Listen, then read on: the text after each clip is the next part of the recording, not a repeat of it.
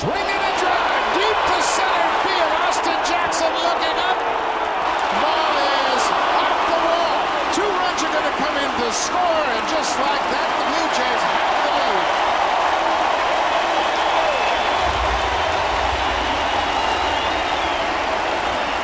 And who else with the middle of the lineup? We talked in the opening about the lineup getting a little bit more length to it because the bottom of the order starting to swing it.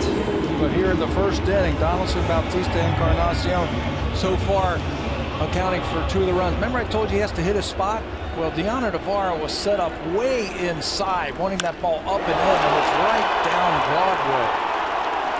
And that ball's hit hard, and again, just off the top of the wall for a two-run double for Edwin.